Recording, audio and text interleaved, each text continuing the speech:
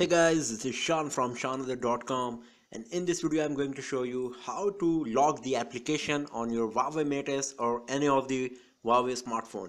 So here is our Huawei Mate S and let's see how to lock any application without installing any third-party application. So first of all you will have to go to the phone manager section which you can find on the home screen itself just tap on it and uh, inside it you will find lots of options but you will have to look for the app lock section which is here. Just tap on it. And you will see that it's asking for a password because you are going to use it for the first time. So you have to set a password. For example one two three four. Confirm it once again. One two three four. Okay? So now it's showing that here is the password protection settings. And uh, you can set security question as well that if you forget uh, your password then you can use the security question to do it and retrieve it. We can just do it later. You can always do it. So after that here is the app lock section. So as you can see that it's showing all the third-party applications and the pre-installed application on my device here. And for example let's uh, uh, lock Android Wear here and AnTuTu benchmarking and so asphalt 8 so now these three applications are logged on our Huawei Mate S or you can use the same trick on any of the Huawei smartphone.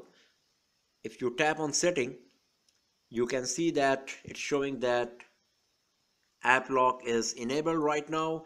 You can reset password and reset password protection as well. So now let's leave this application let's go to the home screen and look for the application that's going to be our Android Wear. Just tap on it and let's see what's going to happen. And you can see that now it's asking for the password to access the application and to use it. Our password is 1234 and here is the Android Wear application. We just unlocked it. And also we logged to asphalt it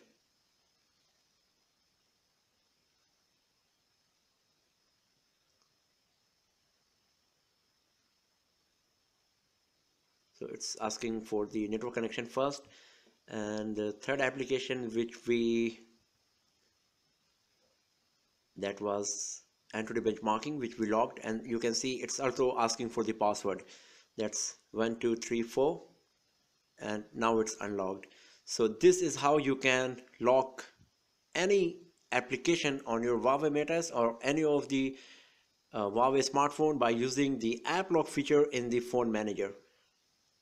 And even to access app lock you will have to use the same password to make any changes or unlock uh, an application. For example I'm unlocking all of my applications here so thanks for watching the video friends and do not forget to subscribe the channel for more videos, tips and tricks and hands-on reviews like this. Have a nice day.